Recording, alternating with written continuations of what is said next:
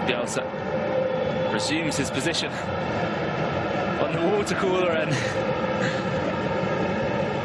scalds himself with the coffee that he placed down there before him. As Bielsa resumes his position on the water cooler and scalds himself with the coffee that he placed down there before him.